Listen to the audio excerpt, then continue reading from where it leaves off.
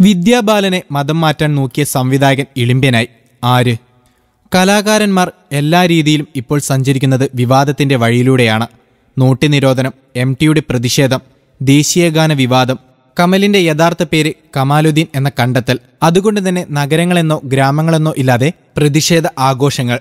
കതറിട്ടവർക്കെല്ലാം തിരക്കോട് തിരക്ക്. വിശ്രമത്തിലായിരുന്ന കവികളും സാഹിത്യകാരന്മാരും പുതിയ ജുബയും തയ്പ്പിച്ചിറങ്ങി പരിപാടികളൊക്കെ കൊഴിപ്പിക്കുമ്പോഴാണ് മതം മാറിയ മാധവിക്കുട്ടിയാകാൻ കമാലുദ്ദീൻ എന്ന സംവിധായകൻ കമൽ വിദ്യാബാലനെ ക്ഷണിച്ചത്.